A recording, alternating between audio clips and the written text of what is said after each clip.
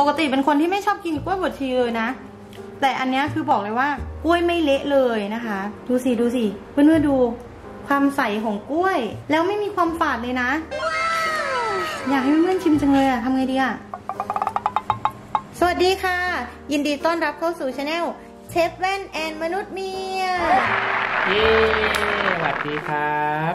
วันนี้เราก็อยู่กับเชฟแว่นนะคะ แล้วก็อยู่กับจักจันที่เป็นมนุษย์เมียเหมือนเดิมค่ะ เมื่อวานนี้นะคะเราได้ทำเมนูที่หมอปลานะคะทำให้กับลุงพลทานนั่นก็คือ แกงเขียวหวานตรีนไก่นะคะ วันนี้เราก็เลยจะมาสืบทอดนะคะ อีกหนึ่งเมนู ซึ่งเป็นเมนูโบราณนะ ดูเหมือนจะทำง่ายนะคะ แต่ว่าถ้าเกิดว่าไม่รู้ทริคนะคะทำแล้วก็จะไม่อร่อยนะคะ นั่นก็คือกล้วยบวชชีจ้ากล้วยบุตรชีนั่นเองนะคะ วันนี้เราจะมาสอนในสูตรที่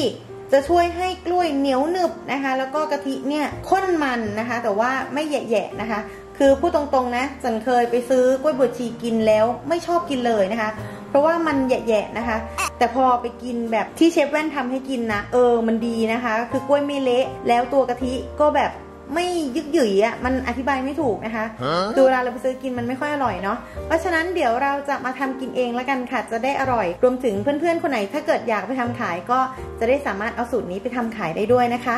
ที่สำคัญอย่าลืมกดไลค์เพื่อเป็นกำลังใจให้กับเราสองคนด้วยนะ Okay. เอาละเรามาเริ่มกันเลยค่ะเชฟแว่นเริ่มจากอะไรคะ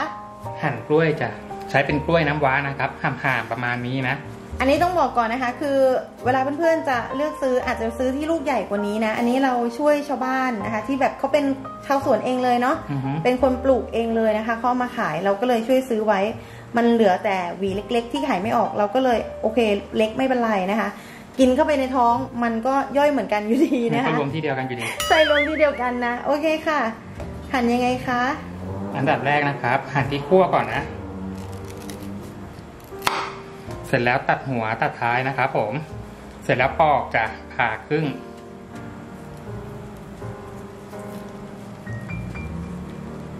ได้มางี้เสร็จแล้วเราผ่าครึ่งเลยนะครับผม เสร็จแล้วก็หั่นสี่เลยนะครับ จะได้พอดีคำพอดีเนาะ พูดง่ายๆว่าหั่นครึ่งแนวยาวหนึ่งรอบ แล้วก็หั่นครึ่งแนวขวางอีกหนึ่งรอบนะคะ ครับผม เสร็จแล้วก็ไปแช่น้ำครับ ที่เราแช่น้ำวันนี้คือจะเป็นน้ำปูนใสนะครับผม เป็นน้ำเปล่าผสมน้ำปูนใสใช่ไหมคะใช่ครับอ่าเพื่ออะไรคะทำไมต้องแช่น้ำปูนใสเอ่ย ที่เราต้องแช่น้ำปูนใสนะครับ เพราะว่าเพื่อจะได้ให้กล้วยเนี่ยนะครับ มีความหนึบไม่เละเวลาต้มนะครับผม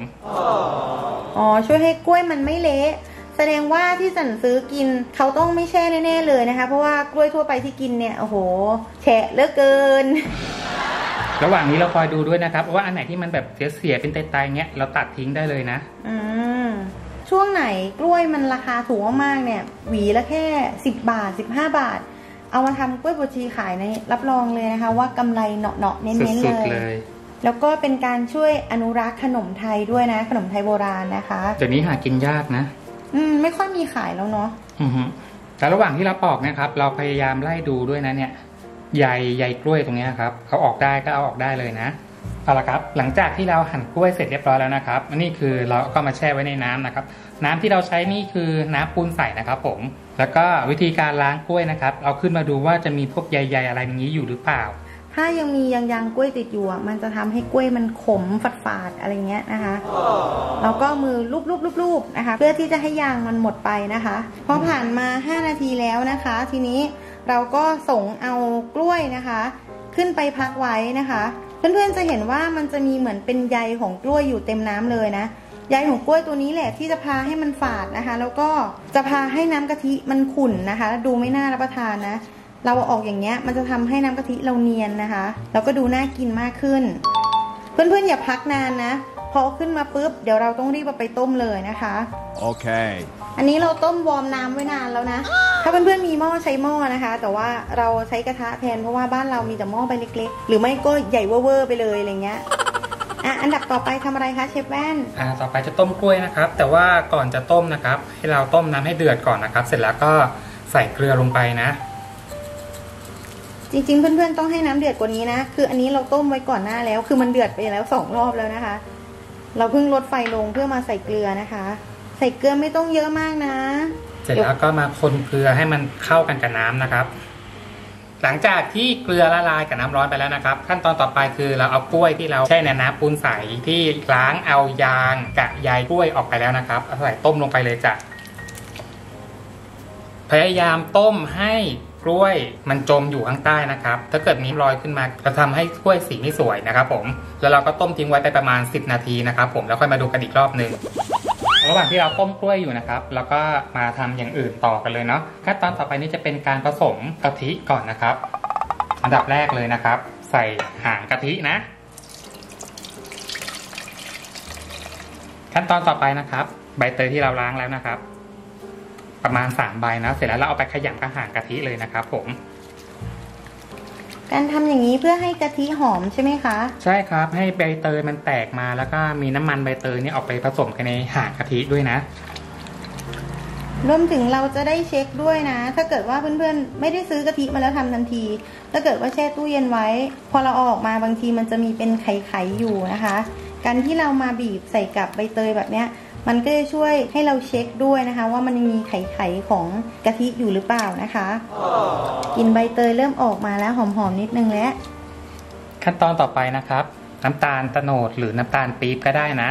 ถ้าเกิดนี้ก็น่าจะอยู่ประมาณ 3 ช้อนโต๊ะนะครับผมเราก็ค่อยปรุงนะ เราจะไม่เน้นปรุงทีเดียวนะครับ เราจะค่อยๆปรุงค่อยๆตะล่อมไปเนาะคือจริงๆ ถ้าเกิดว่าที่เพื่อนๆทานทั่วไปเขาจะใช้น้ำตาลทรายกันนะ เพราะอะไรรู้ไหมเพราะว่าเขากลัวว่าสีกะทิมันจะไม่ขาวไม่ขาวไม่สวยอ่าเขากลัวว่าสีกะทิมันจะเข้ม แต่ว่าเราไม่สี เราชอบนะคะไอ้สีกะทิที่ออกเป็นนวลๆอย่างเงี้ย มันดูเป็นแบบโบราณโบราณเนาะเหมือนพวกอะไรอะรสช่องวัดเจดอะไรอย่างงี้ใช่ป่ะเออ เราก็จะทำให้เป็นสูตรประมาณนี้นะคะเป็นกล้วยบวชชีน้ำตาลตะโนดนะคะ ก็จะได้ความหอมทั้งจากน้ำตาลตะโนดด้วย แล้วก็จากใบเตยด้วยนะคะ ขั้นตอนต่อไปใส่เกลือนะครับผสมลงไปเลยครับผสมไปประมาณเนี้ยหนึ่งช้อนชานะหยิบปลายหยิบมือนะครับ ประมาณหนึ่งช้อนชา เดี๋ยวพอเราต้มไปแล้วเราค่อยมาชิมรสแล้วปรุงเพิ่มทีหลังก็ได้นะคะ เพิ่มน้ำตาลทรายไปประมาณ2ช้อนโต๊ะนะครับ ประมาณนี้พอนะ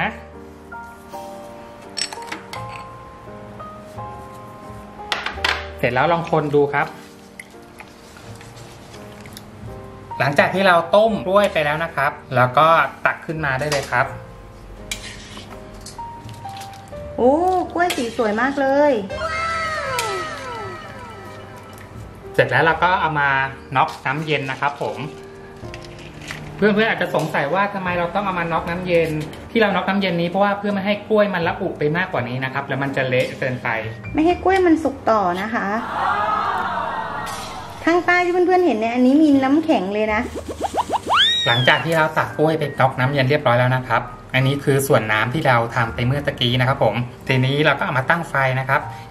ครับผมหลังจากที่เราเคี่ยวไปแล้วสักพักหนึ่งนะครับรอน้ำเดือดเพื่อนๆลองชิมดูนะครับสำหรับบ้านเฮียไม่กินหวานมากนะครับ แต่ว่าเฮียก็เลยเติมน้ำตาลลงไปอย่างละ 3 ช้อนโต๊ะนะครับ ตามด้วยเกลืออีก 2 ช้อนชานะครับผม คืออันนี้ต้องบอกก่อนว่าเพื่อนๆต้องชิมเผื่อนิดนึงนะคะ เนื่องจากว่าเดี๋ยวเราจะใส่หัวกะทิลงไปด้วยนะคะ โดยที่ตอนที่เราใส่หัวกะทิเราจะไม่ได้ปรุงเพิ่มแล้วนะเพราะฉะนั้นตอนนี้ต้องปรุงให้หวานเผื่อเอาไว้นิดนึงด้วยค่ะ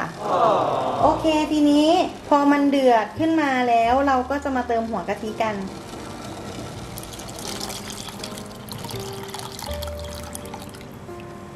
หลังจากที่เราเติมหัวกะทิไปแล้วนะครับ เราก็มาเคี่ยว ต่ออีกรอบหนึ่งนะครับ แต่ว่าไม่ต้องให้เดือดละอุแบบเมื่อกี้นะ ช่วงแรกๆ เราก็คนดูก่อนนะคะ ให้มันเข้ากันดีระหว่างหัวกับหางนะคะ พอดูมันเข้ากันดีแล้ว เราก็ปล่อยทิ้งไว้นิดนึงนะคะ ว่ามันจะเดือดขึ้นมาใหม่อีกรอบนึงเมื่อไหร่เราก็ค่อยปิดไฟนะคะ ถ้าเพื่อนๆอยากจะมีใบเตยเอาไว้ใส่เพื่อที่จะเป็นเหมือนของประดับเวลาที่เราจัดเสิร์ฟนะคะ ก็ให้เพื่อนๆ ดึงใบเตยขึ้นมา แล้วก็ตัดให้มันเป็นท่อนๆนะคะ เดี๋ยวเราจะได้แซมลงไปในถ้วยตอนที่เราเสิร์ฟด้วยนะคะ จะได้เพิ่มกลิ่นหอมด้วย แล้วก็เพิ่มสีสันให้กับกล้วยบวชชีของเราด้วยค่ะ อ่าตอนนี้นะครับ พอเริ่มเดือดแล้วก็ปิดแก๊สได้เลยครับผมเคี่ยวไปอีกสักพักนะครับ น้ำกะทิมันไม่แยกชั้นออกจากกันนะครับ ผมมันจะได้รวมตัวกันเนาะจะได้สวยๆขั้นตอนต่อไปเราก็ตักกล้วยเอามาใส่ได้เลยครับผมทัพพีของเชฟน่ารักดีนะคะ ขอซื้อต่อได้ไหมเนี่ยสองร้อย หลังจากที่เราใส่ลงไปเรียบร้อยแล้วนะครับ เราก็ปิดฝาได้เลยครับผม เพื่อที่จะทำการอบทำให้น้ำกะทินี่มันจะซึมเข้าไปในตัวกล้วยด้วยนะครับแล้วกลิ่นใบเตยก็จะหอมอบเข้าไปอยู่ในกล้วยด้วยเช่นกันนะ ก็รอเวลาสักแป๊บหนึ่งนะคะสักอาจจะสัก 5 นาที 10 นาทีก็ได้นะให้กลิ่นเนี่ยมันทำงานเต็มที่ก่อน แล้วค่อยตักเสิร์ฟค่ะ เนื้อสวยมากๆเลยนะคะ เนื้อยังดูแบบเด้งดึงเด้งดึงน่ากินจังเลยอะ่ะ ท่านี้ก็เป็นอันเสร็จเรียบร้อยแล้วนะคะสำหรับกล้วยบวชชีนะคะ ต้องบอกว่าเป็นสูตรที่แตกต่างจากคนอื่นสักนิดนึงนะคะ เราเลือกใช้เป็นน้ำตาลโตนดนะคะ น้ำมันก็จะนวลเนียนหวานออกไปในอีกรูปแบบหนึ่งไม่ได้หวานแหลมๆเหมือนกับแบบที่ใช้น้ำตาลทรายนะคะแต่ว่าเราจะใช้แต่น้ำตาลโตนดอย่างเดียวไม่ได้นะ มันก็ต้องใช้น้ำตาลทรายช่วยด้วยนะคะ นี่ดูน่ากินมากเลย ดูสีของกะทิสิ โอเคถึงขั้นตอนที่จันชอบที่สุดเลย นั่นก็คือการชิมค่ะ ส่วนใหญ่ทำแต่กับข้าวนะคะ นานๆทีทำของหวานไหมดีใจจัง นี่ ดูสิดูสิกล้วยยังดูแบบใสๆเด้งๆอยู่เลยนะคะ อือหือเฮ้ย ปกติเป็นคนที่ไม่ชอบกินกล้วยบดชีเลยนะ แต่อันเนี้ยคือบอกเลยว่า กล้วยไม่เละเลยนะคะ ดูสิดูสิเพื่อนๆดูความใสของกล้วย เนี่ย แล้วไม่มีความฝาดเลยนะ อยากให้เพื่อนๆชิมจังเลยอะทำไงดีอะนี่นี่นี่นี่นี่นี่นี่เราจะชิมน้ำด้วย